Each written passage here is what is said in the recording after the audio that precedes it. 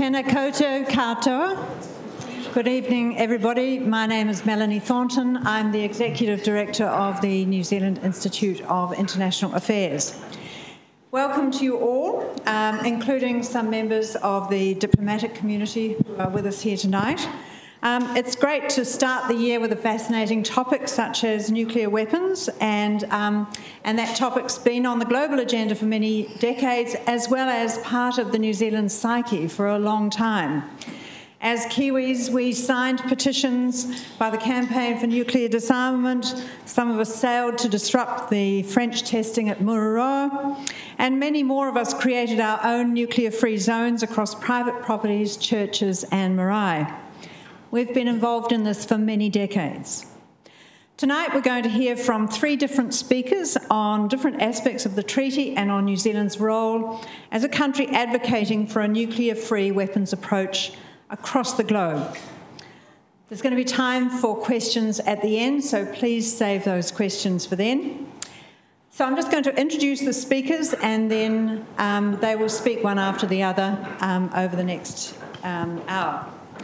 Professor David Capie is our first speaker, and he's the director of the Centre for Strategic Studies and a professor in international relations at Victoria University of Wellington.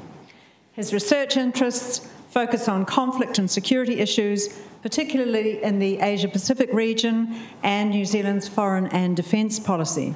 He's currently regional co chair of the Council for Security Cooperation in the Asia Pacific and was a member of the ASEAN Regional Forum Experts and Eminent Persons Group from 2012 to 2019. Angela Woodward is Deputy Executive Director of VERTIC, uh, which stands for the Verification, Research, Training and Information Centre, which is based in the UK. She's also a member of the Asia Pacific Leadership Network on Nuclear Non Proliferation and Disarmament and a council member at the Disarmament and Security Centre New Zealand. She previously served on New Zealand's Public Advisory Committee on Disarmament and Arms Control and was an adjunct senior fellow at the School of Law, University of, of Canterbury. Angela was previously an advisor to the chair of the UN Group of Governmental Experts on verification in all its aspects in 2006, and she's taught public international law and international relations at the London School of Economics and Political Science and at the University of Canterbury. And last but not least is Sirous Amerian, a PhD candidate and tutor at the Centre for Defence and Security Studies at Massey University in Palmerston North. He's an analyst who's worked in government, research, think tank, and tertiary education sectors with experience at both national and international levels, and he's also the chair of the Institute's Palmerston North branch. So, um, first off, um, Professor Capie, if you would like to speak about New Zealand's role. Uh, Nami kia koutou, everyone. Thank you very much, Melanie. Uh, it's a pleasure to be here, and thanks to the NZIA for the invitation to be part of uh, this panel discussion this evening. Uh, and also, thank you to you for coming along. I have to say, you, I can only assume there's people here who are sort of allergic to direct sunlight uh, or, or, have uh, lonely social lives, given what a beautiful evening it is out there in Wellington. But maybe it's just something that um, those who are, are devoted to this cause are even more devoted than most most people. It's lovely. Thank you very much for coming along. And can I also extend my congratulations to those people in the room who have worked uh, and uh, so hard on the last few years to advance the cause uh, of the treaty that we're going to be talking about this evening. Now, Melanie asked me to talk about New Zealand's anti nuclear history and its significance. And I guess I'll try and provide a little bit of background and context before handing over to the real experts who are here this evening, Angela and, and Sirous. And I thought that I would really focus on three things. One, I'd talk about the origins and development of New Zealand's anti nuclear sentiment. Um, secondly, some themes which hopefully will provide a sort of organising framework for New Zealand's uh, uh, anti nuclear and disarmament diplomacy uh, on the global stage. And then finally, as we celebrate or mark the, um, the, the, entry into force of the TPNW, to identify just a few current challenges that will require new commitment in the years ahead. Uh, it wouldn't be a, a, somebody from the direct from the Centre for Strategic Studies if there wasn't a slightly pessimistic note to finish on. Um, but two minor points before I begin. First of all, I have to say I'm very sorry that my wife tells me I can't pronounce the word nuclear to save my life, uh, and that I like to say nuclear instead of nuclear, uh, in, much in the way like a channel Slim Pickens or George W. Bush. So for that, I apologise in advance. And secondly, I've set myself a personal challenge this evening of trying to get through this talk without uh, using the phrase that we punch above our weight. Uh, that might require even more of a challenge, so wish me luck. so, first of all, to the history. And I think New Zealanders' antipathy to nuclear weapons can be traced back to the early Cold War. Uh, while the use of atomic bombs against Hiroshima and Nagasaki was generally welcomed by a war weary public at the time, it was testing of nuclear weapons in the Pacific, and in particular thermonuclear weapons, that began to provoke opposition from a wide, from a wide swathe of New Zealand society. And in his memoir, David Lange remembered that one test uh, turned the sky blood over Auckland, leaving, with, leaving him with what he called a chill sense of dread. And I remember as a young, well, reasonably young student uh, here, uh, an, an, undergrad, Rod Alley, telling me in the audience tonight, telling me a very similar story about the way that uh, those nuclear tests in the Pacific changed the atmosphere of New Zealand and really had a tangible effect. And there was one test in particular, the 15 megaton um, Castle Bravo test, which destroyed Bikini Atoll and ended up contaminating a Japanese fishing vessel in 1954, which sparked particular public outrage and, and reawakened a, uh, awakened a sense of consciousness about nuclear and radioactive fallout. And as um, the former New Zealand diplomat and uh, historian, the late Malcolm Templeton, talks about in his magisterial book, Standing Upright Here, New Zealand in the Nuclear Age, uh, he says there was a, that, that was a test that set off a dramatic uh, increase in the, in the correspondence that new, ordinary New Zealanders, uh, organisations, and private citizens started writing to the Prime Minister. And the, the, this outrage, this sense of opposition came from a broad swathe of New Zealand society. It wasn't a radical fringe, it was churches, trade unions, uh, political party branches, individuals all writing letters or signing petitions calling for a ban on nuclear testing and on the, uh, the H bomb itself. Now, if there was a sort of a, uh, a, modest but steadily growing opposition to American and British nuclear testing, antipathy uh, intensified in the early 1960s when France indicated it would relocate its testing program from the Sahara Desert to Polynesia.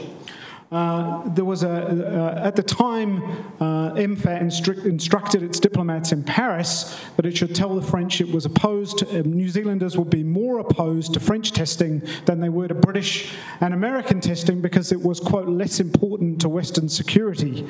Uh, lucky diplomat that would have been asked to pass on that message. Um, and in August 1963, some 80,000 New Zealanders signed a petition asking the New Zealand government to take the necessary steps steps to, quote, ban the bomb south of the line and keep the southern hemisphere free of nuclear arms. Now, a key driver of these early concerns about nuclear weapons were, were the uh, health and environmental consequences of testing. Um, concerns about pollution from French atmospheric testing at Mururoa led to pu- uh, public anger when higher than normal levels of strontium 90 were found in milk in Samoa and in New Zealand in the late 1960s. And by the early 1970s, a thriving environmental movement, groups like Greenpeace and Friends of the Earth, had adopted the issue. In 1971, the National Party government told the, the United States it wouldn't accept visits by nuclear powered ships until Washington uh, agreed to accept liability uh, for, uh, in the event of a nuclear accident. And a further symbol, I think, of the growing public concern about the risks of all things nuclear came in 1976 when a petition presented under the banner of the Coalition for Non Nuclear Futures was signed by a pretty staggering 333,000 people. Now, if concerns about health and environmental risks were uh, posed by testing and energy were uh, dominated the early years of New Zealand's anti-nuclear movement, fears of nuclear war uh, between the major powers began to play a much greater role as the Cold War went on. And in the early 1950s, the first New Zealand branches of the Campaign for Nuclear Disarmament were formed, inspired by their British counterparts. And the CND grew dramatically in the early 60s in New Zealand, focused on the goal of a southern Hemisphere nuclear free zone, the conflict in Vietnam mobilised opposition to war and nuclear weapons, including many in New Zealand that will go on to hold positions of power uh, in the fourth Labour government. And the uh, end of uh, uh, détente and the new Cold War of the early 1980s created new fears the deployment of uh, new weapons, uh, new systems such as MIRV and MX, uh, and new strategies such as uh, counterforce and the idea of fighting limited nuclear war uh, all provoked uh, greater concerns. And this didn't always seem distant from the Pacific, as well as testing. Washington, for example, had plans to test fire its MX missile with a splashdown in the Tasman Sea. And this convergence of health, environmental, and strategic concerns prompted what Kennedy Graham has called a metamorphosis in New Zealand's threat perceptions. A country that, for most of its history, had sought protection from a great and powerful state, increasingly asked itself whether or not an alliance with the United States brought greater risks uh, than rewards. And in 1986, uh, Defence Committee of Inquiry um, established by the government carrying out a survey, uh, asked New Zealanders what they considered as the, their greatest present worry. Nuclear war was identified by 48% of respondents as the greatest threat to New Zealand, compared with just 11% who feared an armed invasion. That th- shift in threat perceptions, that shift in New Zealand's sense of, of themselves and their place in the world, found its moment in the Fourth Labour government, the ANZUS crisis, and the 1987 New Zealand Nuclear Free Zone uh, Disarmament and Arms Control Act. And I won't go into all of the ins and outs of how that nuclear free policy turned into law. It's been well covered elsewhere. But I think since 1990, this has been, with maybe a brief uh, glitch between 2003 and 2005, this is legislation that that has attracted bipartisan um, political support, widespread public support. Now, as well as laying out the various rules and laws around uh, for uh, prohibitions on nuclear weapons and nuclear power within New Zealand, that 1987 Act sought to, quote, promote and encourage an active and effective contribution by New Zealand to the essential process of disarmament and ar- international arms control. So, what's that contribution look like? And turning to the international diplomacy, I thought I'd just draw out four, what I think are four themes of some of New Zealand's uh, nuclear disarmament uh, over the last few decades, leading up to the treaty, which I, I know Angela is going to talk more about next. Now, small states are, of course, typically thought of as strong supporters of international law and international institutions, so it's no surprise that a really important area where New Zealand has made a contribution, and I think a significant contribution, has been in the development and support for legal measures uh, against nuclear weapons. New Zealand and Australia took France, of course, to the International Court of Justice in May 1973 to for- force a halt to atmospheric testing at Mururoa. New Zealand has been a strong supporter and voice for measures such as the CTBT, along with Australia, sadly yet to uh, come into force, and for states to honour the 1970 Non Proliferation Treaty, including for nuclear weapon states to implement their obligations to disarm under Article 6 of the NPT. But maybe most relevant to today's discussions, New Zealand has been an enthusiastic and active participant in efforts to reframe nuclear weapons not as a means to achieve national security for states, but rather as a threat to human security through the humanitarian initiative that has gathered momentum over the last decade. And the TPNW that we're focused on here this evening, in some respects, had its origins with the World Court project started by the retired District Court Judge Harold Evans in Christchurch uh, in 1986, seeking a ruling on the legality of nuclear weapons. Now, through the efforts of various NGOs and campaigners, this this idea found its way to the UNGA, where in 1994 New Zealand was, I think, the only Western state to vote in favour of asking the International Court of Justice for an advisory opinion on the legality of nuclear weapons. And when that op- uh, opinion appeared in 1996, it said that the quote, the threat or use of nuclear weapons would generally be contrary to the rules of international law applicable in armed conflict, and in particular, the principles and rules of humanitarian law. And I think it's this humanitarian turn this was a vital one in the campaign against nuclear weapons. And over the last decade, a key focus for New Zealand's nuclear diplomacy has been its leadership within the humanitarian initiative. At the 2012 meeting of the uh, Non Proliferation Treaty, New Zealand warned uh, of the quote immense humanitarian consequences of nuclear weapons and said, quote, all states must, must intensify their efforts to outlaw nuclear weapons uh, and to achieve a world free of nuclear weapons. And one recent analysis by Kate Hughes and Lyndon Burford describes New Zealand as the public face of the humanitarian initiative, coordinating and presenting joint statements on behalf of an increasing number of, of states, statements that eventually attracted support from 159 different countries. And this carried over into negotiations for a, a ban treaty where New Zealand served as the vice president of the UN conference, something I think that Angela will talk about more, more shortly. A second important theme of our uh, disarmament diplomacy has been a, a, focus on the Pacific.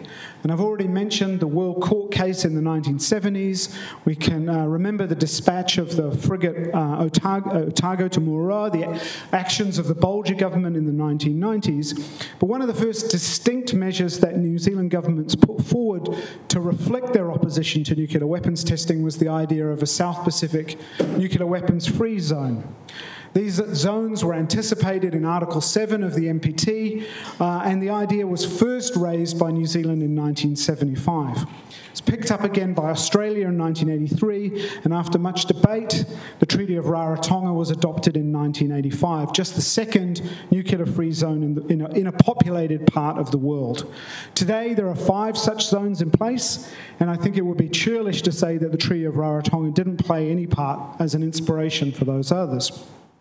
Now, even if not an awful lot has happened with SPNFZ since 1986, I think these zones retain a symbolic value and salience together. And it was interesting that with the 35th anniversary of the treaty last year, that it was also marked by the first meeting of, state, of states parties where New Zealand was also a participant. And beyond the Treaty of Rarotonga, I think the Pacific is an increasingly important participant in global disarmament dip- diplomacy, articulating concerns about issues like providing victim assistance and environmental remediation, some of the positive obligations uh, that are in the Nuclear Ban Treaty. And New Zealand has worked closely with Pacific states uh, on both nuclear and conventional arms control, including issuing the 2018 Auckland Statement on the treaty uh, prohibiting nuclear weapons. Third, uh, I think New Zealand's nuclear diplomacy has been, and this might not be a surprise to many in this room, by a close partnership with civil society.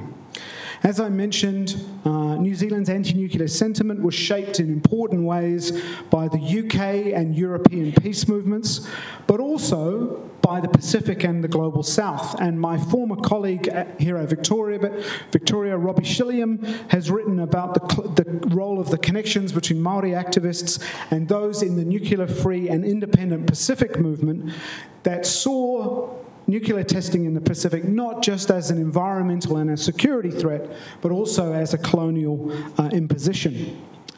And I think civil society has been central to all of the successes in humanitarian disarmament of the last few decades, in particular around landmines, around small arms and cluster munitions, and of course, with the Nuclear Ban Treaty, the role of ICAN in winning the Nobel Peace Prize in 2017.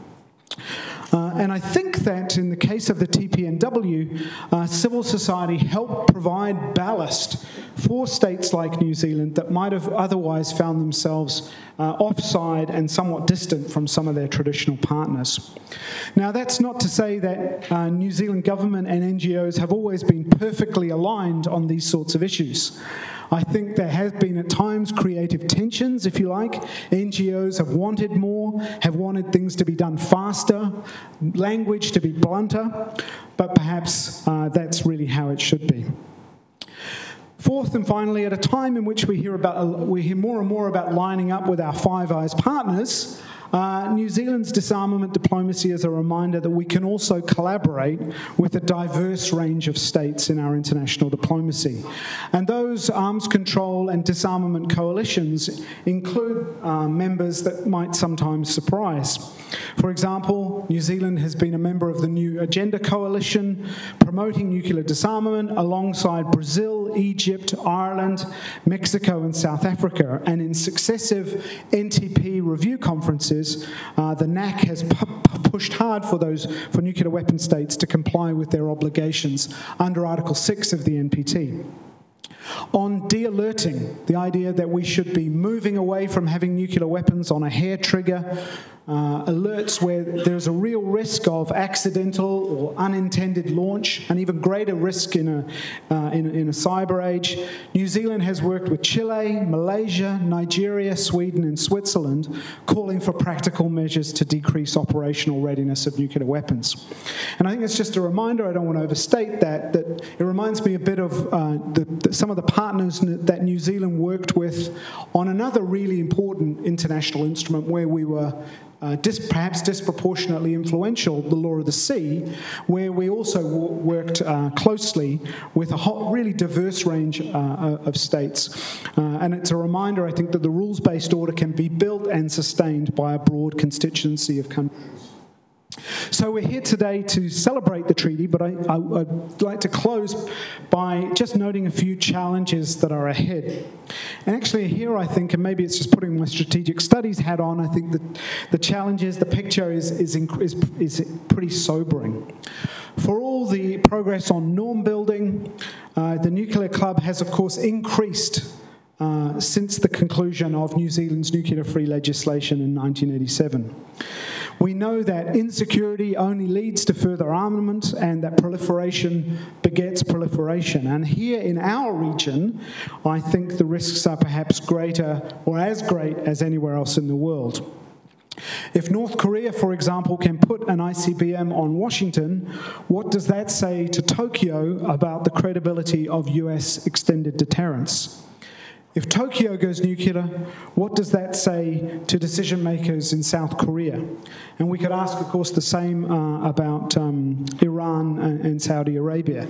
And I would remind people that there was also, even closer to home, there was also a lively debate amongst Australian think tank uh, think tankers and think, think, influential think tank participants uh, in the last 18 months or so about whether or not Australia needed to start thinking ahead about the possibility of a nuclear capability. There are also worrying developments among the existing nuclear weapons powers. Although there were deep cuts at the end of the Cold War, there's been very little uh, in development since. They've continued to modernize their weapons, including exploring low yield, more usable weapons, New doctrines of use are being considered, and states that have had comparatively small arsenals historically, such as China, are now looking to increase them. Finally, I think there's also challenges ahead in disarmament diplomacy. Now, the Biden administration, in its, what, 10 days, 12 days in office, has delivered us some good news of the extension with Russia of the New START agreement. But this year, um, we will see uh, the delayed review conference of the NPT, uh, probably in August, and the first meeting of states parties to the TPNW. And I think an interesting question will be what will be the relationship between the NPT, which of course creates a category of states entitled to possess nuclear weapons, even while imposing on them an obligation to disarm, and the Nuclear Ban Treaty. How do we avoid eroding the NPT? While also working towards a goal uh, of a world free from nuclear weapons. Now, happily, New Zealand is already involved um, with other countries in the Stockholm Initiative, Stockholm 16, looking for pragmatic ways to try and uh, advance disarmament and, and, to build bridges between nuclear weapon states and non nuclear weapon states. And a meeting in Berlin last year identified a number of stepping stones and measures that could identify these aims, including promoting transparency, restraint around fissile material production, and improved verification. But I think it would be fair to say, and maybe Angela will pick up on this, there's still there's perhaps some tensions between advocates of the TPNW uh, and, and advocates of that agenda. So, to close, uh, one of the questions uh, Melanie posed to me was how significant has New Zealand's contribution been? Writing in 2006, Malcolm Templeton said, The nuclear free policy and its consequences constitute perhaps the most significant development in New Zealand's international relations during the 20th century. Viewed in a global context, however, the significance of that policy is not great. Other non nuclear states did not wish to take a comparable stand. He went on The fact that the example set by New Zealand's anti nuclear policy has not been followed by other governments in a comparable relationship with the United States must disappoint its most ardent advocates.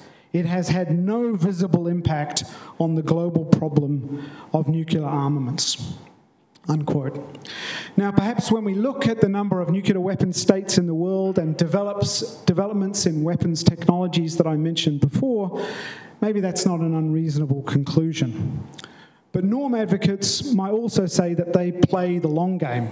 Theirs is an effort to change the way we think about nuclear weapons, about creating stigma, about increasing the reputational costs around their possession and use. And I remember when I was a student in these very classrooms in the 1990s, thinking that friends who were activists and advocates campaigning against anti personnel landmines, I thought that they were pursuing a futile cause. And they proved me wrong. And I only hope that proponents of a world free of nuclear weapons are equally successful. Whatever happens, I think that any fair observer would have to conclude that working with others New Zealand has been an important voice in moving that agenda forward and has punched above its weight. Thanks.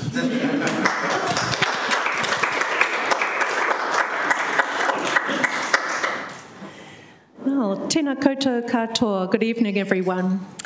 In contrast with David, I have to say I'm quite an optimist. about uh, the current situation. I'm, for the first time in my 25 year career, I'm excited about nuclear weapons diplomacy and where it's going to lead us. Um, First of all, Melanie, thank you very much for inviting me to this panel today. I'm delighted that uh, the NZAA is holding this event to recognise the entry into force of the Treaty on the Prohibition of Nuclear Weapons that occurred uh, on the 22nd of January, just over a week ago. Uh, we've had more good news just today um, with this treaty, uh, hearing that the Philippines has just approved its uh, ratification of the treaty. So we will shortly have 53 states parties to the treaty. So congratulations to the Philippines and Ambassador Domingo, who isn't here today, but we, we wish them our very best wishes. Uh, with this treaty now in force, nuclear weapons are now finally prohibited under international law alongside the other so called weapons of mass destruction. We had biological and toxin weapons banned in 1972 and chemical weapons banned in 1993. This is a, a huge development, very exciting for nuclear weapons diplomacy. Uh, in my presentation today, uh, I'm going to start off with addressing the title of our seminar today, From Arms Control to Abolition. I'm going to talk a little bit about how we got to this point of getting this new treaty on nuclear weapons, or to put it another way, how the failure of nuclear arms control to lead to nuclear disarmament has finally achieved nuclear abolition and how the discourse has shifted from nuclear weapons as a tool of security to talking about humanitarian disarmament.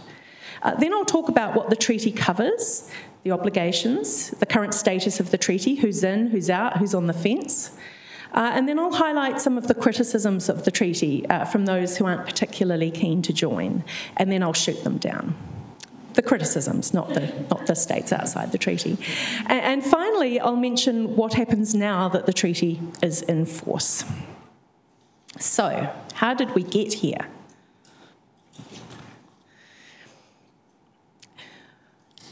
What was going on in nuclear arms control diplomacy and what was the progress on nuclear disarmament that led to this push for nuclear abolition? Well, it actually took a long time to get to this point of achieving an international law prohibition on nuclear weapons.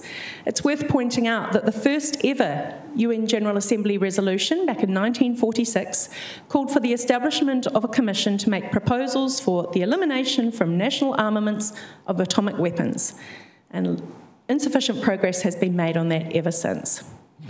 So, the push for the treaty came about due to the growing frustration by a large number of states, the non nuclear weapon states, at the lack of progress on nuclear arms control in recent years.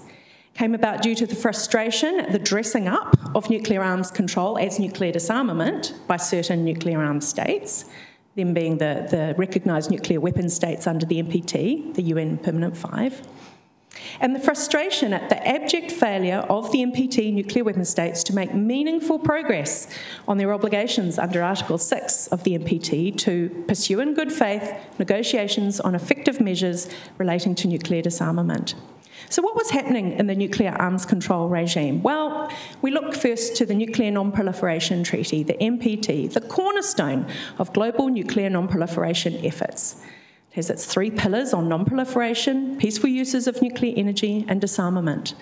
But there was this growing sense of frustration and about the deadlock between the nuclear weapon states and the non nuclear weapon states on achieving the third pillar of the treaty, disarmament.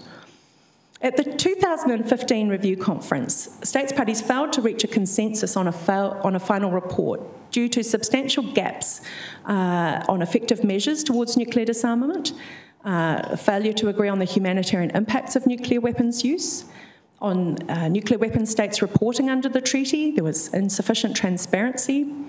Uh, there was lack of agreement on the time frame and the process on convening a Middle East uh, WMD free zone uh, conference uh, that had been agreed at the 1995 Review and Extension Conference. It was the grand bargain that got the treaty extended in the first place. And efforts since uh, 2010 to convene that meeting had not been able to be held.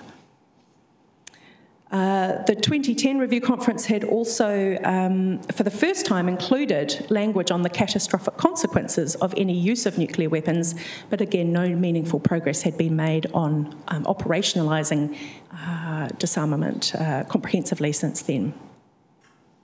There had been some positive developments in the conference. As I mentioned, the 20, after the 2015 review conference, we had the Joint Comprehensive Plan of Action agreed by the, the P5 plus Germany and Iran. This is the Iran nuclear deal, agreed in October 2015, uh, to control Iran's uranium enrichment activities under its nuclear energy program and to reduce the ability for it to break out with a nuclear weapons program. But we also saw uh, certain negative developments uh, since the 2010 review conference of the NPT. We saw the uh, US President Trump announce withdrawal from the 1987 Intermediate Range Nuclear Forces Treaty, which banned certain land based missile systems uh, with a range under 5,500 kilometres. We saw uh, the US President Trump withdraw from the 2010 New START Treaty, which limited uh, the number of strategic warheads that could be deployed to 1,550. We saw US President Trump's, uh, Trump's, announced withdrawal from the 2015 Joint Comprehensive Plan of Action. And uh, just this morning, we hear the news that Iran intends to uh, enrich uranium back up to 20%. Um, and we'll hear more about that from, from Sirous later. And we also saw US President Trump's withdrawal from the 1992 Open Skies Treaty, uh, which was an important uh, treaty allowing overflight reconnaissance of military forces and activities, a really important confidence building measure among the states' parties. We've since heard that President Putin has uh, said that Russia will also withdraw, and there are another 32 states uh, parties to that treaty in Europe. So, with that backdrop, uh, the non nuclear weapon states who are actually keen on disarmament decided to take action. They wanted to reshape the debate about nuclear weapons from a purely security issue to a humanitarian issue. Nuclear weapons, as David described, were then brought into the fold of humanitarian disarmament diplomacy and law, just as anti personnel landmines and cluster munitions were in the 1990s and early 2000s, when efforts to ban those weapons under the umbrella Conventional Arms Treaty failed due to obstructionist uh, states. Um, so, powerful civil society groups that have worked on those campaigns on landmines and cluster munitions uh, turned their attention to nuclear weapons alongside um, the, the campaign, the international campaign to abolish nuclear weapons, which was established in Australia in 2007. And they worked in cooperation with a core group of TPNW negotiating states Austria, Brazil, Ireland, Mexico, New Zealand, and South Africa to lobby for a negotiating mandate for a treaty to ban nuclear weapons. They worked to change the discourse um, to focus on the humanitarian impact. And this started with uh, the Humanitarian Initiative, a grouping within the NPT of 159 states that joined a statement, uh, that signed a joint statement in 2015 on the humanitarian impact of nuclear weapons. Then we had the humanitarian impact of nuclear weapons conferences, uh, which uh, were held in Austria and uh, Mexico and Vienna, Austria, uh, during 2013 to 14. And that led to a, a humanitarian pledge. Uh, to fill the legal gap in the NPT, because the NPT, of course, just prohibits the proliferation of nuclear weapons. It doesn't ban them outright. So that was an important step. Uh, the treaty itself, the TPNW, was negotiated uh, over two sessions at the UN in New York during 2017. And after its adoption, the International Campaign to Abolish Nuclear Weapons won the Nobel Peace Prize in 2017. And as we've said, the treaty reached its 50th uh, ratification back in October last year, which triggered entry into force um, earlier this year. So great news. So the treaty itself, the Nuclear Ban Treaty, what does it do? Well, the treaty explicitly and unequivocally prohibits the use of nuclear weapons. It is legal recognition that any use of nuclear weapons is unacceptable from a moral, humanitarian, and legal perspective and makes it illegal under international humanitarian law, the laws of armed conflict. As the International Committee of the Red Cross, which had actually had delegates on the ground in Hiroshima after it had suffered a nuclear attack, as the ICRC notes, no state or international organisation can appropriately respond to the humanitarian needs arising from the use of nuclear weapons, and so they must never be used. If we can't effectively respond to their use, we must prevent their use, and this treaty does that. And it's surprising that it's only now in 2021 that we have seen a treaty enter into force that is the first instrument of international law to help mitigate the catastrophic humanitarian consequences of the use and testing of nuclear weapons.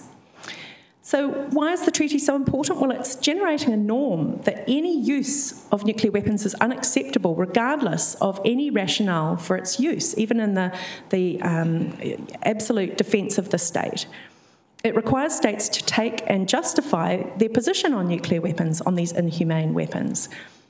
And nuclear weapons endorsing states that are under uh, extended deterrence uh, alliances um, are really going to have to work hard to um, show their support for disarmament um, uh, and, and ideally join the treaty.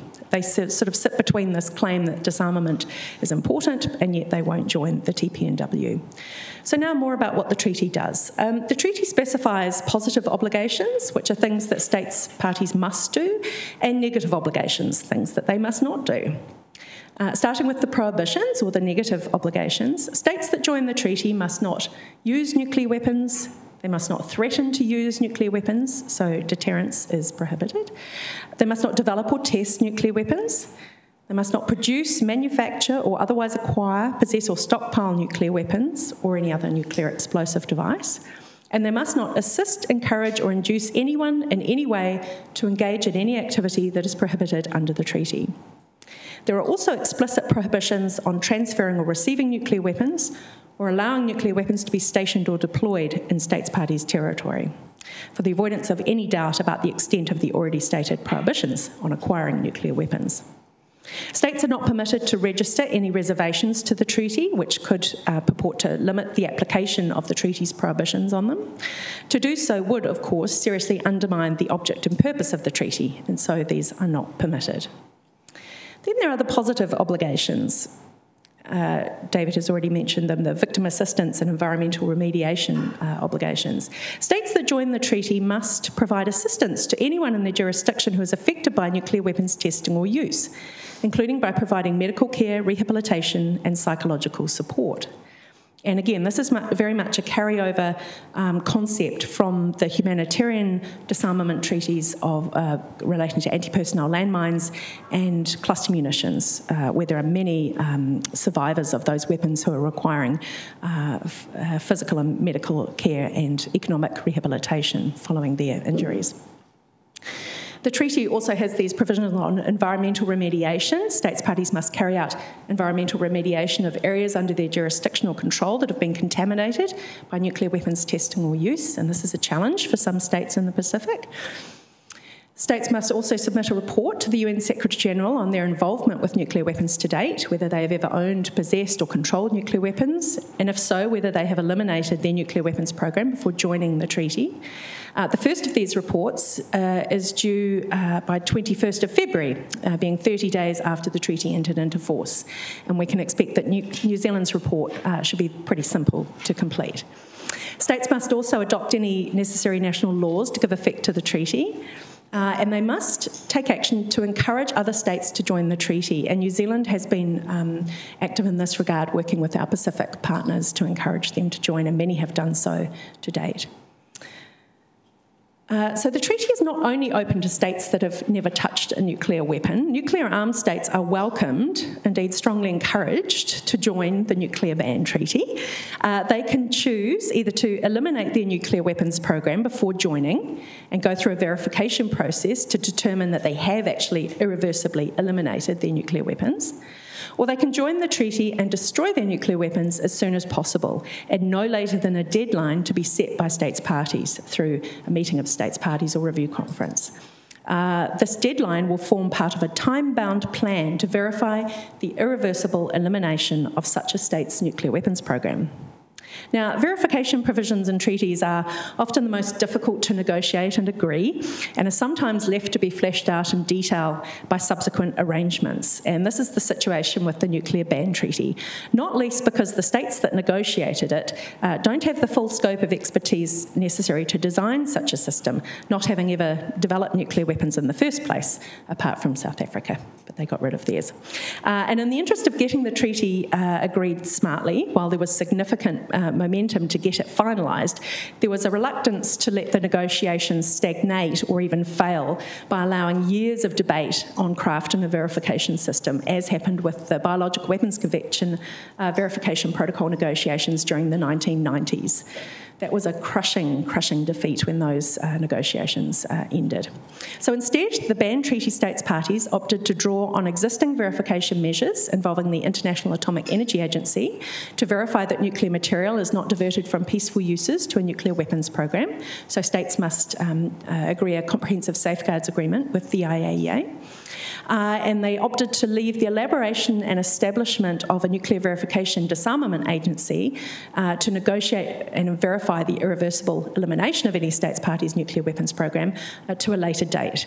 Um, this was a suitable solution under the circumstances, but it certainly leaves uh, a lot more work to be done, uh, not least on training non nuclear weapon states on nuclear disarmament verification so that they can have trust in the outcome of such a verification process.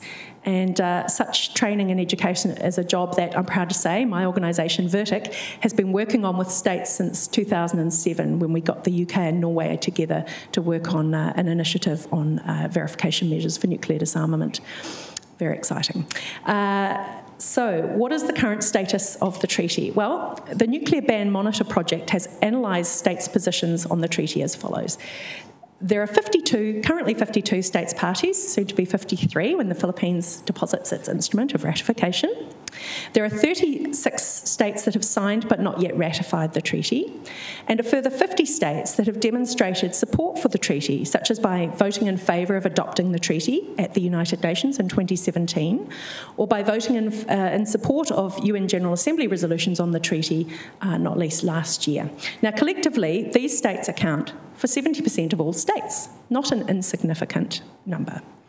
There are 42 states who have consistently opposed the treaty, and these are the nuclear armed states, so the, the uh, nuclear weapon states under the NPT, plus India, Pakistan, um, um, Israel, and North Korea, uh, as well as those states that are under uh, extended deterrence and nuclear umbrella situations like the NATO allies. There are a further 17 states that are considered to be undecided on their position on the treaty. They have either abstained or absent during the UN votes on the treaty. Now, notably, most of these states have already have nuclear weapons-free security policies, so we could hopefully expect that they would consider joining the treaty in the future. At the regional level, support has been positive in all regions except Europe, uh, home to many of the NATO countries, of course, where 65% of, percent of states actively oppose the treaty, followed by Asia with 15% of states opposed. Uh, we might wonder at what rate have states joined the nuclear ban treaty compared to the other key weapons of mass destruction treaties. Well, as of 20th of December last year, which was three years and three months after the treaty's adoption, on average the rate has been about the same as for the other key treaties. At that point, the TPNW had 51 states parties, the NPT had 66, Biological Weapons Convention 55, Chemical Weapons Convention 49, and the Comprehensive Test Ban Treaty 51 states parties. So there is um, some momentum uh, on universality, on getting states to join the treaty.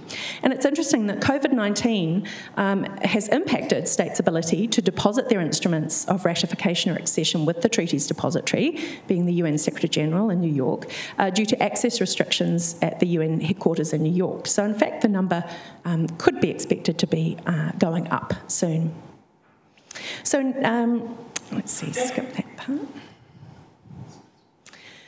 What are some of the criticisms that have been made of this fantastic treaty? Well, needless to say, the nuclear armed states remain rather fond of their nuclear weapons and are prepared to continue to defend and maintain these weapons and to criticise the treaty. Arguments have been made that nuclear weapons deter war, they defend us, we need them for strategic stability. And yet, there's really no evidence to prove a correlation between the existence of nuclear weapons and the absence of a major war between nuclear powers. In fact, UK's nuclear weapons did not deter Argentina from invading the Falkland Islands in 1982, for example, and US nuclear weapons did not deter the 2001 uh, terrorist attacks or asymmetric warfare. In fact, if nuclear weapons did deter war, why aren't they encouraging other states to acquire them? Nuclear weapons don't keep us safe, they threaten massive, indiscriminate harm to millions of people. Some might like to say that uh, their nuclear weapons won't ever be used, that they are just for deterrence. But nuclear deterrence theory relies on a credible threat of use. So they are designed and deployed to be used on a, a hair trigger alert, as David said. There are at least a thousand nuclear weapons currently deployed on high alert. Now, this all, the, for this system to work, it presumes that there is no risk of nuclear accidents, and there have been many close calls and near misses that are known about to date, and there are likely many more. The non-use of nuclear weapons to date is also, you know, partly down to just good luck. And you know, can we afford to rely on good luck to avoid uh, millions of deaths from uh, a nuclear um, nuclear weapons detonation? Good luck doesn't last forever. Uh, the risk of nuclear weapons use, um, either deliberately, by accident, or miscalculation, is real and could happen at any time. And it's worth thinking about with uh, artificial intelligence and cyber, um, the cyber vulnerabilities of the uh, nuclear command and control systems, uh, that there is uh, a growing risk of um, um, them being hacked and, and attacked, and which could lead to, to, uh, to accidental use as Ireland noted when it joined the treaty, there can be no right hands for the wrong weapons. Uh, some might argue that a nuclear ban treaty is ineffective and dangerous and won't actually achieve anything without the nuclear armed states having joined it. And it's true, all the nuclear, all the states parties to the treaty at present are non-nuclear weapon states. But if the treaty is so ineffective, why are they criticising it? Why did the US tell its NATO allies that the treaty could and is designed by ban advocates to destroy the basis for US nuclear extended deterrence? If it's so ineffectual, why did they call on signatories to withdraw their instrument of signature or ratification before the treaty entered into force? They didn't bother uh, approaching New Zealand uh, in, that, um, in that case. So there's a lot of diplomatic gymnastics going on. States claim that the treaty will delegitimise extended deterrence, and yet they claim support for disarmament on the other hand. In fact, the TPNW delegitimises and stigmatises nuclear weapons and makes nuclear disarmament a global humanitarian responsibility shared by all states rather than just the exclusive nuclear weapons club. Some might say that the TPNW conflicts with and undermines the NPT, that's just plain false. It doesn't. There is a lot of legal analysis showing that it, in fact, reinforces and supports the NPT and expands upon it by, by banning nuclear weapons themselves and not just their proliferation. It actually supports the disarmament requirements of the NPT. So, what happens now? Well, the TPNW states parties will continue to advocate for universality and encourage and support other states to join. And as I said, New Zealand is doing this in the Pacific. Um, it will create uh, an opportunity for discussion to tease out the arguments of the non nuclear weapon states that remain opposed to the treaty, um, who are currently playing diplomatic gymnastics. They oppose the treaty and yet they support uh, disarmament. So they will have to really justify their position as to why they continue to rely on uh, inhumane weapons um, that they don't even own as part of their security. Uh, we will see the TPNW states parties uh, submit their declarations about any involvement in nuclear weapons to date. So far, so good. We will see the first meeting of states parties, which could be expected to uh, elaborate the verification provisions, working on uh, designating a competent international authority for the treaty verification system, uh, and education is key in that regard. Uh, we might see other states uh, become observers to the treaty, uh, even if they haven't yet joined, and I believe Sweden is uh, keen to, to become an observer to the treaty, so that would be very welcomed. We will continue to see uh, heavy civil society involvement in the treaty, as with other uh, convention, uh, as with the conventional weapons treaties that the um, civil society movements are involved in. We will continue to see civil society monitoring states' compliance with this treaty. We've already seen, uh, I believe, two editions of the Nuclear Weapons Ban Monitor come out, and it's a really useful resource on the state of um, on states' positions on the treaty, on their um, adherence to their uh, the obligations under the treaty and it's a, a really good resource, especially for students. So I encourage everyone to have a look at that. Um, there are some key states to watch coming going forward. Um, one of them, uh, our, dear neighbour and cousins, uh, Australia. Now, Australia is, is somewhat opposed to the treaty, has been playing um, diplomatic uh, gymnastics in their statements, tying themselves in knots. I mean, it's it's amusing to watch, but it would be um, um, perhaps more interesting to see them get actually involved in the in the discourse rather than just boycotting um, the events. Uh, there was a 2018 survey in Australia that showed that 80% of people there support Australia joining the treaty. There's been cross-party support by parliamentarians to join the treaty, and in fact, the Australian Labor Party um, made a commitment in 2018 that uh, if if they win the election, that they will join the treaty, subject to some conditions that might give them a way out. But it's still an encouraging uh, thing to see there. Uh, in Belgium, uh, which hosts US nuclear weapons in Europe, they have 20 gravity bombs on their territory. There was a recent vote on whether to remove those US nuclear weapons, and it, just a few days ago, that uh, vote fell by a slim margin, 74 to 66. But a public opinion poll there um, shows that 64% of the Belgian population uh, want them to join the TPNW, despite their NATO uh, um, alliance. Um, and in fact, being in, a NATO, in the NATO alliance is actually no legal impediment to joining the TPNW, no matter what the US might say. Uh, we've seen debate in the German parliament um, where some are also calling for the removal of US nuclear weapons there, and it's interesting the debate was actually triggered over the uh, budget decision um, to spend um, money to purchase new aircraft for delivering those US nuclear weapons. The US is also uh, looking to modernise the nuclear weapons that are in Germany, so it's a very live debate in Germany. And of course, we will see the NPT review conference in August 2021 this year, which will um, be dealing with the uh, TPNW um, as a, a, legal treaty and not just a concept for the first time. So there are some very interesting uh, developments to be watching out for with this treaty in the near future. Thank you.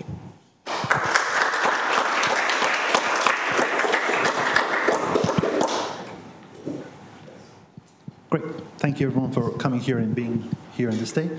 I'm sorry if, if I'm using my phone. I'm not on Tinder or anything. I'm just got my PowerPoint here and trying to walk you through it. Uh, my my talk here actually builds on what David actually pointed out that insecurity leads to armament, and I will here I will try to talk to you about why uh, uh it's warming up. I think. Yeah. Okay. And I, I will actually talk to you why Iran feels insecure And a lot of people told me that uh, after listening to me for 10, 15 minutes, are you actually advocating for Iran to get bombs or are you here to talk about non proliferation? But I will actually explain why I think it's critical that Iran not build bombs and how we can actually get them to not do so. So, what we've seen is that uh, the P5 are not giving away their bombs anytime in the future. And now we kind of have an unofficial P4 that uh, Angela named Israel, India, Pakistan, and North Korea. And North Korea and Iran uh, had very similar situations maybe 20 years ago. And Iran is one of those threshold states that is currently standing on, on, a, on a very thin line and could be pushed to the nuclear side, or if the JCPOA is reinstated, could actually step back from the nuclear side and, and stop us from having an unofficial P5 of, of nuclear armed states. So why does Iran feel insecure? If you've had a look at the map of US bases in the Middle East, uh, I've got one here. Uh, there are US bases in Qatar, in Bahrain, uh, in Saudi Arabia. Uh, the US military was present in Afghanistan, in Iraq. It used to be in Central Asia at some point, and it's in Incirlik in Turkey. And if you actually plot all those uh, locations on a map, you will see that, oh, they they accidentally circle a country called Iran. It's Iran, not Iran, so that's another issue. So you have this country surrounded by US military bases. And, but it's not just US military bases. Iran is, uh, is surrounded by countries that have access to top notch military and conventional uh, arms. Uh, in in 2016, Saudi Arabia spent close to $76 billion on acquiring uh, conventional military technology. In that year, it outspent India and Russia. And those are much more bigger countries with more uh, security issues than Saudi Arabia. You also have uh, the United Arab Emirates, which no one apparently has any official numbers, but they spend close to $25 billion every year on their military. You also have the Israelis, which spend immensely on their uh, conventional military and also get a bunch of uh, Christmas uh, military present from the White House every year in, in military aid. And on the other side, you have Iran spending close to 10 to 12 billion dollars on its military. And it's not just numbers, it's actually technology. Recently, Iran celebrated the 50th birthday of some of its F-4 Phantoms. So that's a 50-year-old uh, military aircraft. I mean, I've seen 50-year-old cars, and I'd rather not travel with them anyway. But imagine sitting in a 50-year-old piece of junk flying up in the air. And the last time Iran actually got access to anything new, uh, in for example, an Air Force was actually in the 1990s, which is still 30 years, 31 years ago and it's uh, on the ground, it's military, it's, it's using tanks that were outdated when the Persian Gulf in, in the 1990s was around. Their navy are really good at shooting each other out. Each other out. Recently, uh, during a missile maneuver, they accidentally took out one of their other ships. So they don't have a really good track record in that sense. So this country is, is surrounded by hostile nations by outside powers, and it has a very weak military conventional power, but uh, they're not daft. There are some areas which they're pretty good at, and one of them is, is ballistic missiles. And this is one of their areas that has kind of built them some conventional deterrence. And the good thing for them is ballistic missiles are actually pretty difficult to defend against. Uh, a whole battery of Patriot PAC-3 costs around two, two and a half billion dollars, give or take uh, and it can defend against maybe a salvo of 20 ballistic missiles, but 20 ballistic missiles perhaps only cost $500 million. So by spending another $500 million, you have to force the other side to spend another 2.5 billion to get another PAC-3. So it's, a, it's quite a credible threat. And they have their whole network of proxies, which everyone tells you, but also everybody else in the Middle East has that proxy network as well. And nowadays, one thing that is really dangerous, I think, for security and actually will work against the, the TPNW is, is some European states asking for Iran to get rid of its ballistic missiles. Again, you have this country that is insecure in a more classical physical sense, and its only credible source of kinetic, physical, military power are its ballistic missiles, and you are asking them to give it away so everybody else feels same, feels safe. Who is everybody else? Those countries that are spending $80 billion every year on their, on their military.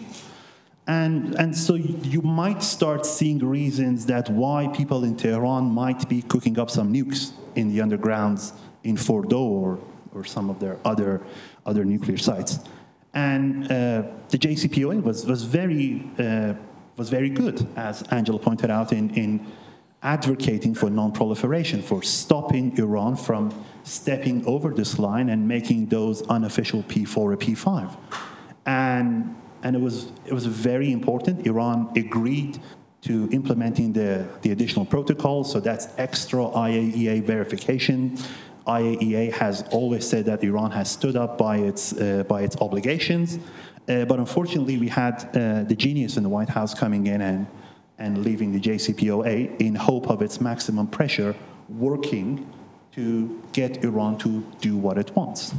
Now, a lot of people say Iran does a lot of bad things, which I totally agree with. So does everybody else in the Middle East. But uh, I would like to quote uh, Dr. Ali Vaez, who's uh, who works on the Iran desk at the International Crisis Group, the same international crisis group whose head, Rob Malley, was uh, appointed as uh, President Biden's Iran envoy that says the JCPOA wasn't the cure all for Iran's adversarial relationship with the US and, to a lesser extent, to a lesser extent Europe.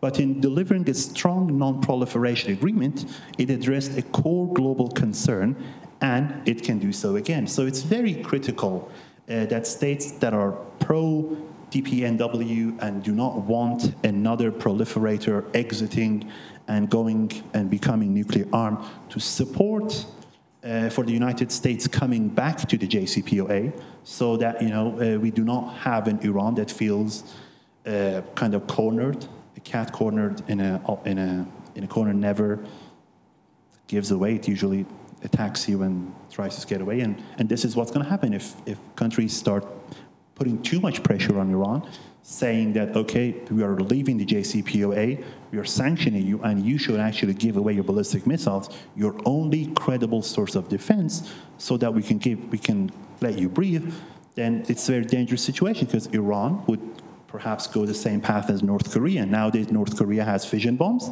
has fusion bombs, and are now talking about uh, theater level, uh, ballistic, uh, theater, theater grade uh, nuclear weapons. So not just strategic, not Los Angeles, actually hitting the, the, the DMZ, where you know South Korean troops might be coming, which is a, which is which is very dangerous. And it's it's very important that you know to stop uh, Iran from again uh, the, uh, crossing the threshold, that states come together and uh, and facilitate Iran and the U.S. talking and the reinstallment of the JCPOA. And, and I think this, it's very critical for not just global security, but also regional security in the Middle East, because as David mentioned, uh, nuclear proliferation is a bit of a chain. If Iran gets the bomb, then Saudi Arabia wants it, then the UAE wants it, then Turkey wants it, and then Egypt wants it. And then uh, instead of a nuclear-free Middle East, we're going to have everybody has a nuclear bomb Middle East, which is uh, something really ugly, and I hope we never see it. Thank you very much.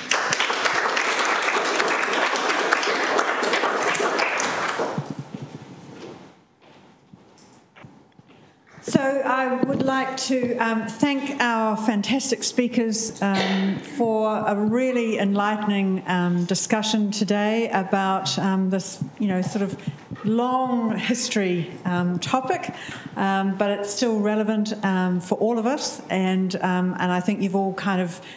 helped enlighten that for for me particularly, but I'm sure for most of the audience as well. So, audience, with me, please thank um, our speakers uh, for their contributions tonight. Um, as you've seen, we've um, recorded tonight's um, event and we'll put that up onto our YouTube channel so that you can actually um, watch it or um, send links to, to friends and colleagues. so that will be up there in the next few days. but thank you all once again for coming tonight and thank you, audience, for being here.